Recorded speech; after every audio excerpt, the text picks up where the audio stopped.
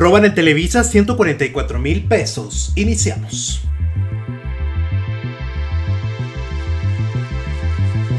Hola faranduleros, ¿cómo están? Muy buenos días, bienvenidos a la información del espectáculo. Soy Alex Zúñiga, es domingo, pero es un momento, es el momento para que te informes de lo que está pasando en el espectáculo. Vamos a iniciar, vamos a iniciar esta información con Memo del Bosque, una buena noticia, ya que reapareció después de 25 días de aislamiento por su tratamiento contra el cáncer. A punto de acabar el año, Memo del Bosque, productor de televisión, ha celebrado con su familia y con sus seguidores que ha salido de su tratamiento contra el cáncer y por fin puede estar con los suyos. A pesar de la dureza del proceso que ha implicado un aislamiento de casi un mes, el productor ha compartido unas palabras positivas. Mi mejor regalo, el amor que todo lo puede, mis bebés, mi motor de vida, Vic Andrade, gracias por estar conmigo siempre.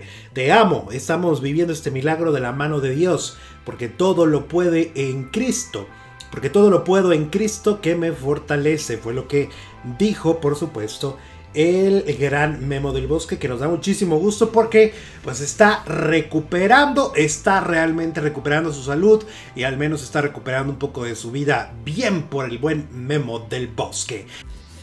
En información no tan positiva, resulta que robaron 144 mil pesos a un integrante de Televisa, un famoso.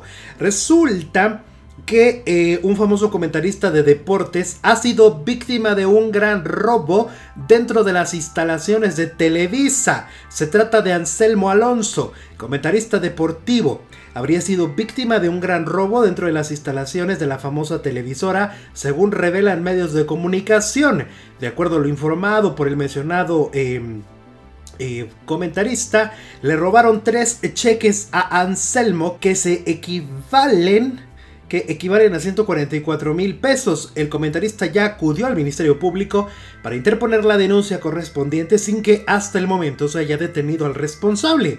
Se sabe que los cheques ya fueron cobrados por una mujer que responde al nombre de Beatriz N quien viviría en la alcaldía Venustiano Carranza, en Ciudad de México. Sin embargo, los vecinos del lugar aseguran que no conocen a nadie con ese nombre. La mujer que, sido, que, la mujer que habría realizado las transacciones cuenta con antecedentes penales, además de que trascendió que cobró los cheques en distintas sucursales, en San Juan de Aragón, en Congreso de la Unión y en Eduardo Molina. Muy mal, ¿no? Finalmente pues imagínense cómo que le robaron sus cheques, pues hay que tener cuidado, ya ves que ya ven que hasta Cecilia Galeano en su momento le robaron su anillo, pues ahora hasta roban cheques dentro de las televisoras. ¿Qué ocurre?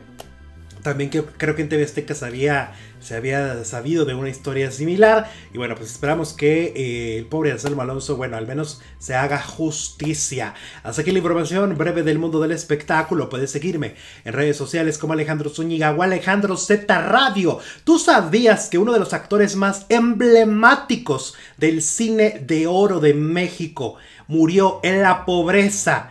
Desafortunadamente ciego y con muchos problemas de salud? Si no lo sabías, dale clic en la pantalla ahora para que veas el video.